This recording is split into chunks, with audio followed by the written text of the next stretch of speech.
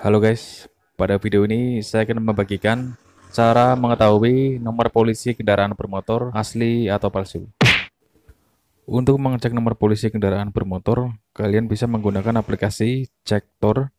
Silahkan download di Play Store. Oke, sebagai contoh saya ingin mengecek nomor polisi kendaraan yang ini B234KIL.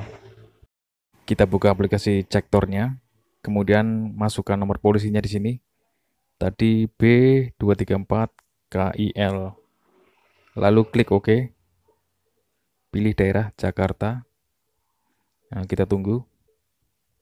Nah, ini detail nomor polisinya, datanya sudah muncul. Jatuh tempo pajak kendaraan 15 November 2016. Merek kendaraan sekian-sekian nomor polisi B234KIL, biaya jasa harja 143.000, wilayah Jakarta, tipe kendaraan sekian-sekian, harga jual kendaraan 600 juta. Jatuh tempo STNK 15 November 2016. Pajak kendaraan bermotor 12 juta. Jenis kendaraan Jeep. Lengkap semua datanya ya. Oke, saya akan coba uh, cek nomor polisi kendaraan yang lain. Yang ini B3201 SPV. Oke, kita kembali masuk ke aplikasi Cektor. Kita masukkan nomor polisinya di sini. Tadi B3201 ESPV. Klik enter. Pilih daerah Jakarta. Kita tunggu.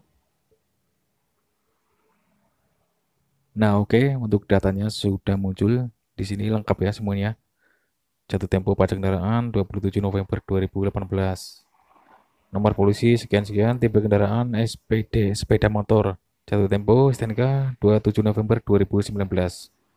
Oke guys, itu dia tadi cara mengecek nomor polisi kendaraan bermotor. Sekian, semoga bermanfaat. Thank you for watching. Goodbye.